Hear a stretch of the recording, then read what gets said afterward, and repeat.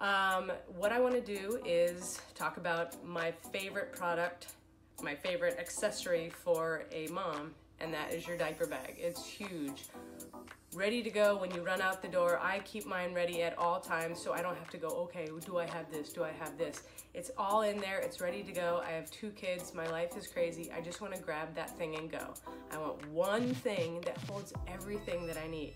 So, uh, my sister in law really nicely offered to buy me a backpack um, diaper bag. I'm like, awesome.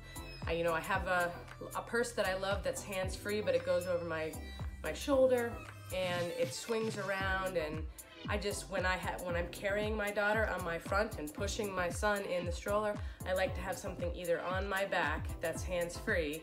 Um, especially we go to a lot of theme parks. I need it on my back, not across my daughter's face when I have to be putting it on.